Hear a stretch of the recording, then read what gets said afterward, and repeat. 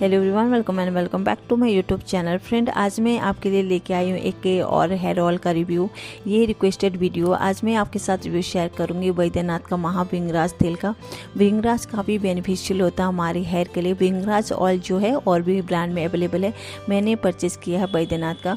वैद्यनाथ पुराना trustable brand है and non brand है, जैसे कि आपको पता ही है. सो फ्रेंड मेरे पास यहाँ पर है वैद्यनाथ का महाविंगराज ऑयल इसके पैकेजिंग इस टाइप के कार्टून बॉक्स में आती है, वो इनर पैकेजिंग इस टाइप की है बॉटल में। इसकी क्वांटिटी जो है 200 हंड्रेड की है। इसके जो रिसेंट प्राइस है, वो है थ्री हंड्रेड पहले थोड़ा सस्ता हुआ करता था, अब रिसेंट प्राइस ये है। आपको जो है सेल्फ लाइफ जो है अप्रॉक्स थ्री ईयर्स की मिल जाती है, ठीक है? तो इसमें कोई भी केमिकल का यूज़ नहीं किया गया, ना ही किसी टाइप का फ्रेगनेंस का यूज़ किया गया, ना ही कोई आर्टिफिशियल कलर का यूज़ किया गया। प्योर हर्बल हेयर ऑयल है, ठीक है? इसमें पंद्रह से भी ज़्यादा जड़ी बूटियों का यूज़ किया गया। इसमें ना ब्रिंगराज के साथ साथ हरिद्रा, ना केसर मंजिस्टा का भी गुडनेस पाया जाता है, ठीक है? तो हरिद्रा जो है डैंड्रफ को कंट्रोल करता है ब्रिंगराज जो है हेयर को ग्रोथ करने में हेल्प करता है नाक केसर जो एंटी फंगल है। जो मंजिस्टा जो है हेयर को पोषण देता है, ठीक है? तो फ्रेंड ये फुल्ली आयुर्वेदिक ऑयल है, इसमें ना स्मेल जो है थोड़ा सा स्ट्रॉन्ग है, हर किसी को पसंद नहीं आएगा। मेरे को तो डेफिनेटली पसंद नहीं आए हैं। एंड दूसरा ये कि थोड़ा ये चिपचिपा भी करता है। इसमें यूज़ करने से क्या होता है कि थोड़ा चिपचिपापन फील होता है नॉन स्टिकी ऑयल नहीं कि।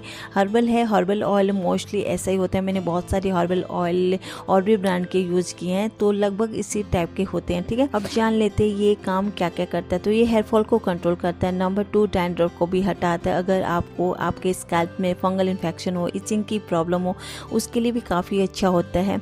हेयर को रीग्रोथ करता है, बालों को काला करता है, सर में दर्द हो, उसमें भी आराम देता है, ठीक है? अगर आपको प्रीमेच्योर ग्रे हेयर की प्रॉब्लम हो तो उसको भी ठीक करता है।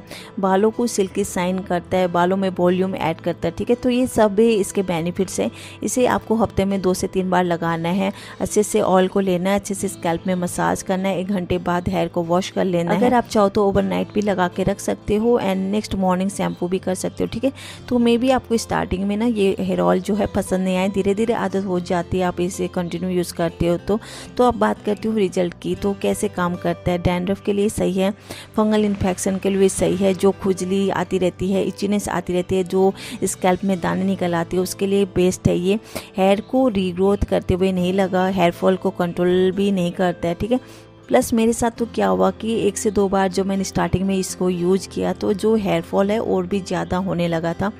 लिटरली मैं डर गई थी, मैंने ऐसे कंटिन्यू यूज़ किया, फिर भी क्योंकि कभी कभी क्या होता है ना, हमको हर कोई प्रोडक्ट एक बार में सूट नहीं करता तो सूट करने में क्या होता है, थोड़ा टाइम लगता है। फिर भी मैंने इसे कंटिन्यू यूज़ किया, डरते हुए फोर्थ टाइम फिफ्थ टाइम फिर जाके जो हेयर फॉल जो बहुत ज़्यादा होने लग गया था, वो कंट्रोल हुआ।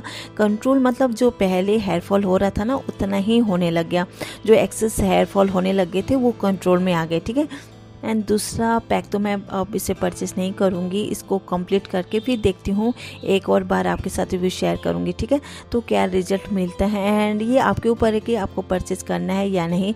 ज़रूरी नहीं है कि मेरे को सूट नहीं किया तो आपके ऊपर भी नहीं करेगा। ऐसे डेंड्रफ के लिए सही है। फंगल इन्फेक्शन आपके बालों में हो रखा है, तब भी आप इसे यूज़ कर सकते हो। उसके लिए बेटर है एक्चुअल ओवरऑल एवरेज प्रोडक्ट लगा एवरेज ऑयल लगा मेरे को।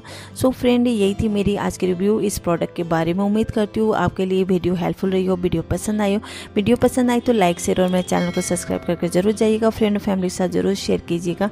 तो फिर मिलते एक प्रोडक्ट रिव्यू के साथ, तब तक के लिए bye bye take care thank you